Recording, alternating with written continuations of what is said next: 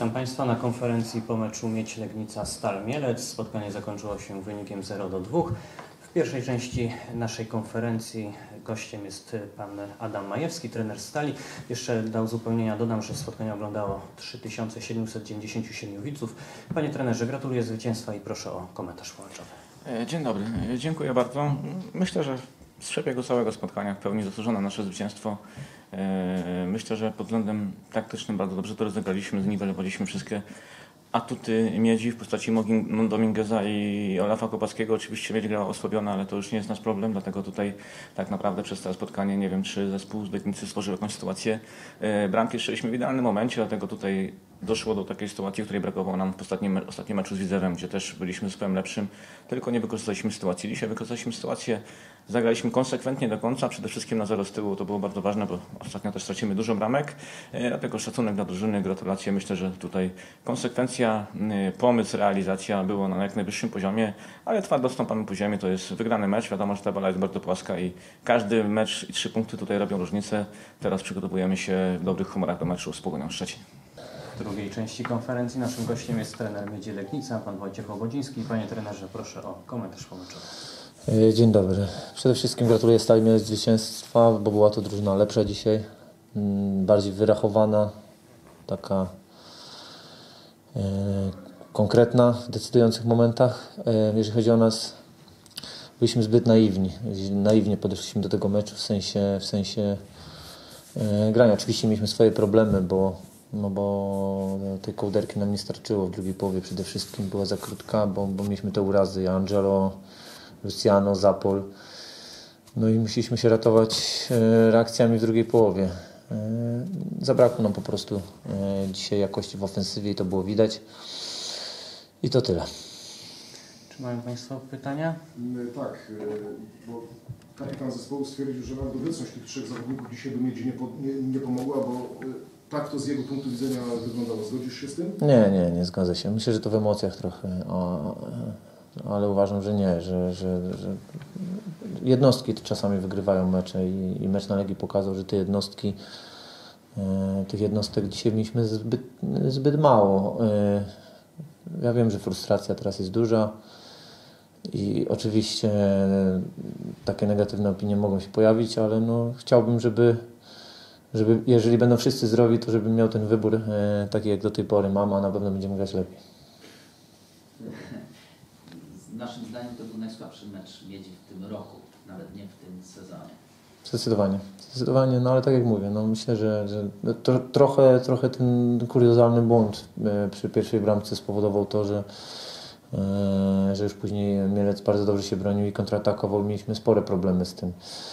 E, No tak jak mówię, no e, ciężko było nam skonstruować. Pierwszy raz wyszliśmy takim składem e, w tym sezonie. Ciężko było nam, naprawdę mieliśmy ostatnie kilka dni widzieliśmy, że, że, że już Angelo i Luciano nie zagrają, czy Zapol, więc, więc no, pracowaliśmy ostatnie dni nad tym nowymi rozwiązaniami, ale tak jak widać to nie wystarczyło.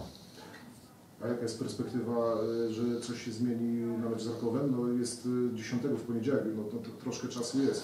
Znaczy, jeżeli chodzi o Angelo, to, to no, walczyliśmy do końca, do, do, do samego meczu o jego, o jego powrót do zdrowia. On po kadrze przyjechał z lekką kontuzją i tak y, no, kilka godzin, no, ale baliśmy się, że że jeżeli on dzisiaj wyjdzie, to, to stracimy go na dłużej, a to jest zbyt ważny piłkarz dla nas y, z perspektywy całego sezonu. A jeżeli chodzi o Luciano, no to wydaje mi się, że na styk może zdążyć do meczu. Kamil Zapolnik tak naprawdę jest problem z diagnozą, więc też czekamy.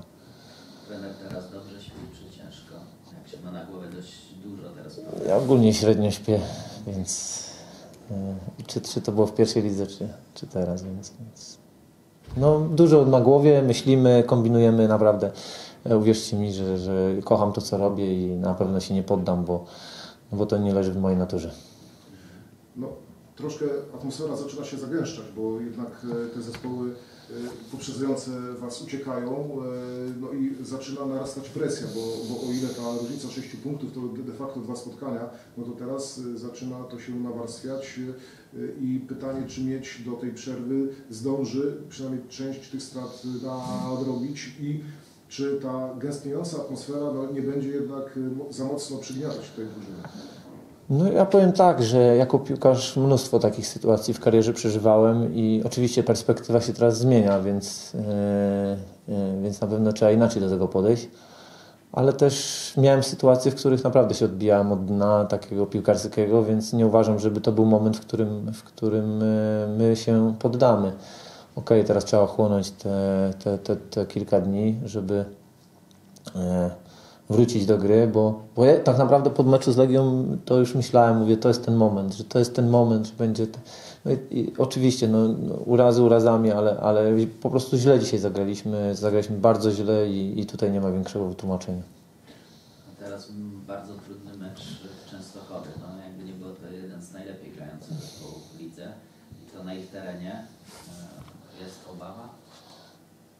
Wbrew pozorom nam chyba się trochę lepiej gra z takimi zespołami i, i no ja wiem, że to teraz po takim meczu mówić, że jedziemy wygrać w Częstochowie, to, to by ktoś pomyślał, że, że jest głupie, no ale nie takie rzeczy futbol widział, więc, więc no, leczymy urazy drobne, jeżeli będziemy mieli wszystkich zawodników do dyspozycji, to oczywiście tak jak na Legii, tak i i w Częstochowie możemy powalczyć.